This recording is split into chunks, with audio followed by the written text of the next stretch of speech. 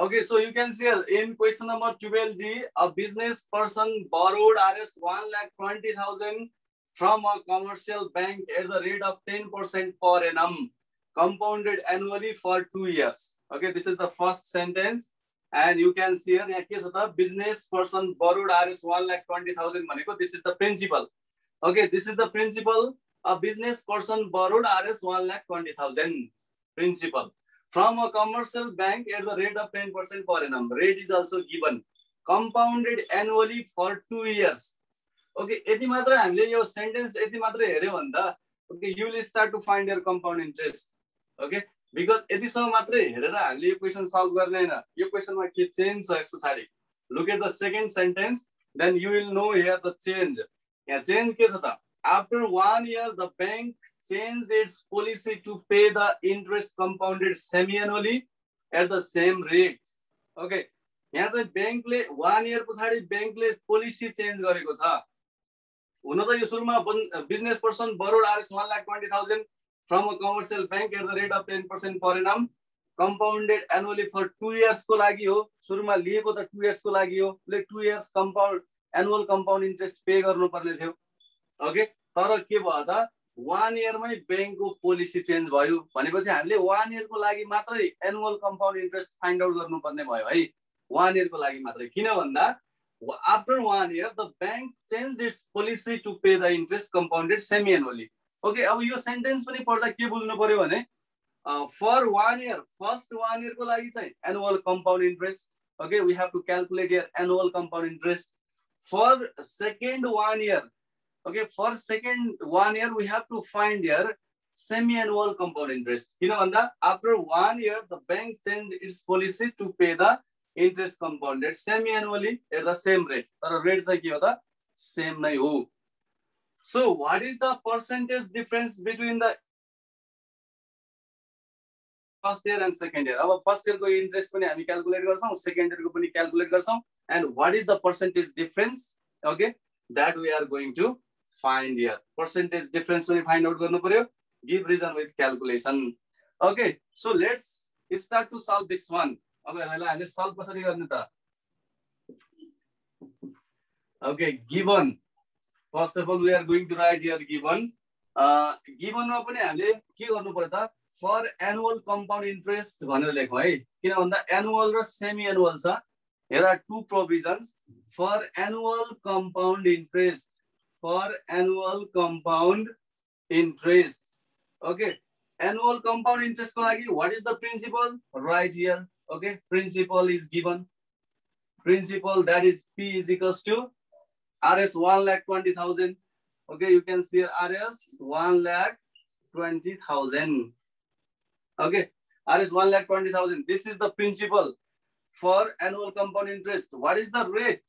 Okay rate भनेको चाहिँ ten percent rate that is R R equals to ten percent per annum rate okay then time time is okay time is time T equals to time is one year लेख्ने है त किन one year भन्दा annual compound interest हो annual compound इन्ट्रेस्टको लागि चाहिँ के हो त वान इयर हो ओके किन भन्दा after one year the bank change its policy policy change भएको छ त्यही भएर टाइम टु इयर लेख्ने होइन time simply one year okay one इयरको लागि मात्रै annual compound interest we have to calculate okay so now we know your principal rate we know, time we know.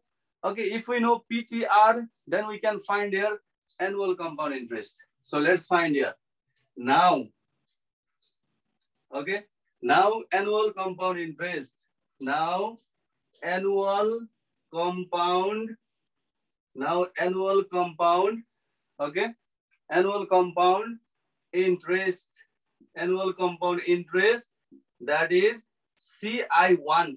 Let's suppose here, CI1. CI1 is equals to what we can write here? P, then bracket 1 plus R upon 100 power T minus 1. Okay, in this way we can write annual compound interest CI1 is equals to P bracket 1 plus R by 100 power T minus 1. This is the formula for annual compound interest. And here, now let's put the values. Value find out values put गरौँ then will find their compound interest त्यसपछि हामीलाई के आउँछ त compound interest आउँछ है okay ल त्यसको लागि के गर्नु पर्यो यहाँ सम्झिराख्नु पर्यो है क्वेसनमा अब अर्को वान इयरको लागि चाहिँ हामीलाई semi annual compound interest calculate गर्नु छ। अनि दुईवटा इन्ट्रेस्टको डिफरेन्सको पर्सेन्टेज फाइन्ड आउट गर्नु छ। Okay so remember that one rate same हो। सेम रेट भनेको छ है। Okay same rate so now let's put the values here okay if we put here value P means 1 lakh 20,000. You can say 1 lakh 20,000. Okay, 1 lakh 20,000. Then bracket 1 plus R means you can say 10%. R is 10%. So 10 by 100. And then power T means 1. Okay, then minus 1. So if there is power 1, okay, the calculation is easier. You know that, right? About simply 1 lakh 20,000. Just open it, okay? Remove the bracket. हामीले ब्राकेटलाई remove गरिदियौँ भने simply now we can cancel here one and minus one किन भन्दाखेरि त one छ वानको expanding गर्दा त हामीलाई वानलाई त त्यतिकै पनि रिमुभ गर्न मिलिहाल्यो okay so one and minus one we can cancel and 0 and 0 also we can cancel. So we got here 1 lakh 20,000 into 1 upon 10. This 1 0 0 again we can cancel and here we found RS 12,000. Okay, so what we found here? Okay, we found here CI1. Therefore, we found here CI1 is equals to RS 12,000. Okay. अब यो क्वेसनमा compound इन्ट्रेस्टको concept you should have clear है? Concept clear भए आउनु पर्यो। Then only you can solve year okay यहाँसम्म त हामीलाई इजी नै थियो। One इयरको annual compound interest find out गर्न। That's not a big deal okay we can easily find it तर अब हामीलाई सेकेन्ड इयरमा जाँदाखेरि ओके अब सेकेन्ड इयरको लागि हेरौँ। Again again for semi annual semi annual again for semi annual compound interest again for semi-annual compound interest okay? again for semi-annual compound interest. अब सेमी एनुअल कम्पाउन्ड इन्ट्रेस्टको लागि what will be the principal principal P is equals to what will be the principal simply अब हामीलाई first इयरमा annual compound interest सेकेन्डमा semi annual compound interest त्यही principal लियो भने त okay that would be wrong त्यो रङ हुन्छ त्यही भएर compound इन्ट्रेस्टको concept you have to use your यही छ compound इन्ट्रेस्टको concept you have to use okay त्यो भनेको प्रिन्सिपल चेन्ज हुन्छ. Okay principal will be changed. त्यही भएर यहाँ प्रिन्सिपल के भने के हुन्छ त? For semi annual compound interest principal will be one lakh twenty thousand plus twelve thousand okay किन भन्दा फर्स्ट इयरमा आएको कम्पाउन्ड इन्ट्रेस्ट जुन छ त्यसमा पनि इन्ट्रेस्ट क्यालकुलेट गर्नुपर्ने हुन्छ। So this is the compound interest so your principal is one lakh twenty thousand plus twelve thousand भनेको यो भनेको त one lakh thirty two thousand okay? We found here 1 lakh 30 32000 our rate same भनेको छ same rate question ma you can see there the question rate is same okay? So previously rate is 10% so here also we have to use 10% rate is same time time one year first one year को लागि भइसक्यो time now for next one year भनेको one year नै हुन्छ time is one year in this case now we have to find the annual, semi-annual compound interest. Semi-annual compound interest. We have to calculate here semi-annual. Okay, semi-annual compound, semi-annual compound uh, interest. Semi-annual compound interest. Let's suppose this is CI2. Okay, now you have to know the formula for semi-annual compound interest. Interest CI2 is equals to P bracket 1 plus r upon 200 power 2t then minus 1 okay this is the formula semi-annual compound interest look at here semi-annual compound interest ci2 is equals to p bracket 1 plus r by 200 power 2t minus 1 okay write this properly यहाँ चाहिँ हामीले 2t पावरमा के हुनु पर्यो 2t. So now let's put the values. P we know here, 1 lakh 32,000. Okay, rate 10% time, one year. So let's put the values. Okay, so what is what is principal here? Principal is one lakh thirty-two thousand. Okay, principal is one lakh thirty-two thousand. Then then 1 plus r by 200. 1 plus r means 10. 10 divided by 200. Then power is 2t. 2t means 2 into time 1 year. Then minus 1. Okay. So this will be 1 lakh 32,000. 1 lakh 32,000. Then let's solve here. यो भनेको त कति हुन्छ त 200 into 1 200 plus 10 भनेको 210 divided by 200. Okay, then square, then minus 1. Okay, so let's calculate it 1.05. Okay, this is 1.05 is square, then minus 1.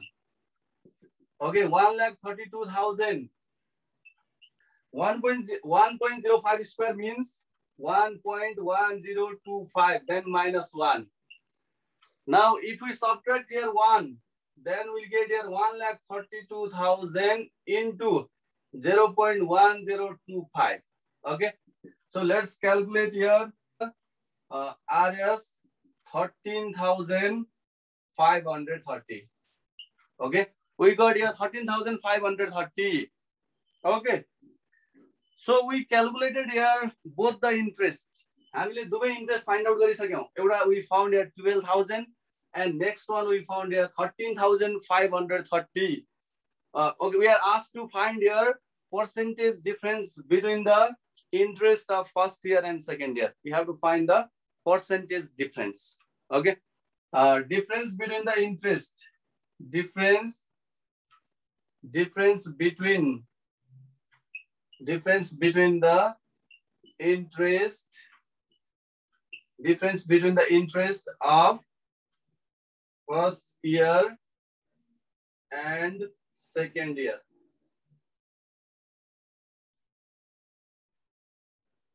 Okay, so difference between the interest of first year and second year. Uh, you you can denote it, right? D difference la simple D denote later on it will be easier to uh, write in the formula okay? Difference between the interest of first year and second year भनेको के हो अब difference यहाँ first year अगाडि छ भने first year अगाडि नै लेख्ने भन्नु खोजे होइन।